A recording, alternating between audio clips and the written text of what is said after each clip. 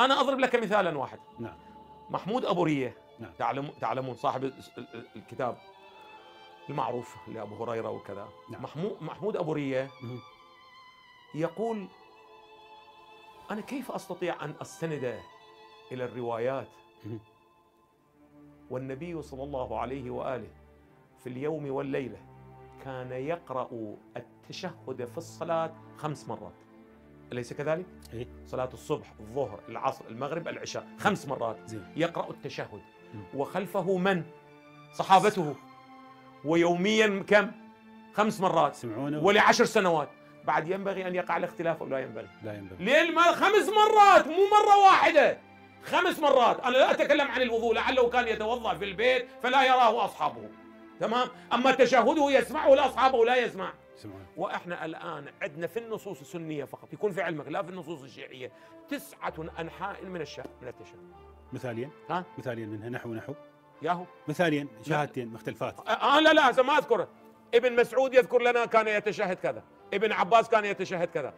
عمر بن الخطاب كان يقول يتشهد كذا. عبد الله بن عمر بن الخطاب يقول يتشهد. تسعة من الصحابة اللي يقولون سمعناه يقرأ هكذا.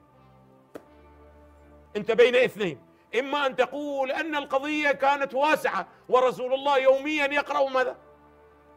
طيب. بالتشهد. لا أريد أقول لك لا اسمعني نعم عزيزي. نعم. أريد أقول لك في أمر مسموع معلوم واضح ومع ذلك وقع فيه ماذا؟ الاختلاف. هذا اللي خلى آه، السيد كمال الحيدري يقول الحقيقة المطلقة ما ممكن تكون بجد. جزاك الله خير. هذا طيب. أنا داخل من داخل المنظومة دا أتكلم. أقول طيب. يا أنت يا عزيزي أنت الذي تقول لا نحن رسول الله قال صلوا كما رأيتموني أصلي. إيه كيف يصلي؟ أصحابه المقربون كل يقول كان يصلي هكذا. إذا أنا بين اثنين.